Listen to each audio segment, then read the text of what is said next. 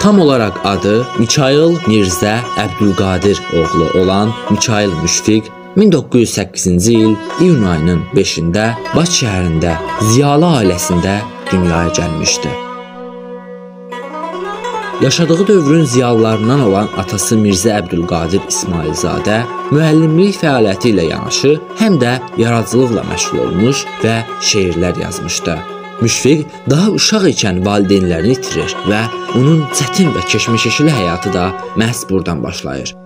Müşfiqin böyüyüb boya başa çatmasında və şair olaraq yetişməsində nənəsi Qızqayıt xanımın böyük zəhməti olmuşdu. Məhz nənəsinin söylədiyi nağıllar, atalar sözləri və bayatlar Müşfiqin gələcəkdə bir şair kimi zəngin xalq yaradıcılığı ilə tanış olmasında mühüm rol oynamışdı.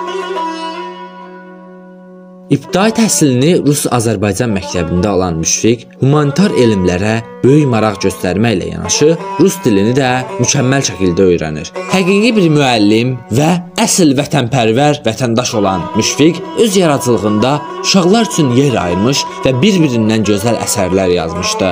Onun yaradıcılığında bədii tərcümə fəaliyyəti xüsusi yer tutmuş və o gözəl mürtəzim kimi oxucuların rəğbətini qazanmışdı.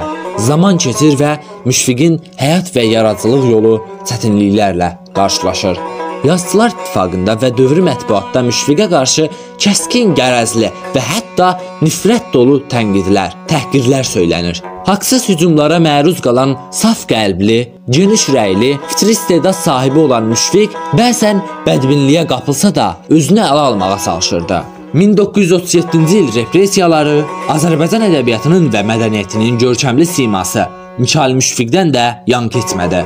SSR Xalq Komissarlığının təhlükəsizlik kapitanı Sinmanın tərtib etdiyi arayışda Mikayıl Müşfiqin Müsavat Gənclər Təşkilatı ilə əlaqə saxlayıb partiya və hökumətin ünvanına böhtanlar deməsi qeyd olunmuşdu.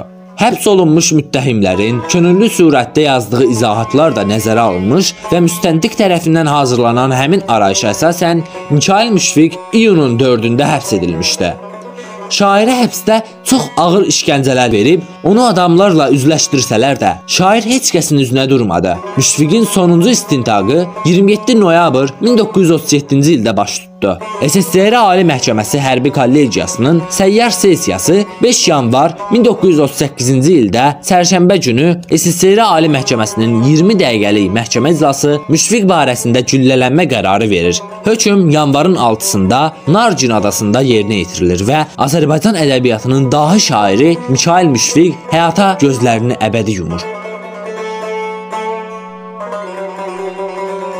Mikayıl Müşfiq 29 illik ömrü ilə ədəbiyyatımızda öz nəhəng və möhtəşəm şeir heykəlini qoydu. Bu heykəli nə zamanın qasırğaları, nə də tufanları yox edə bilməz.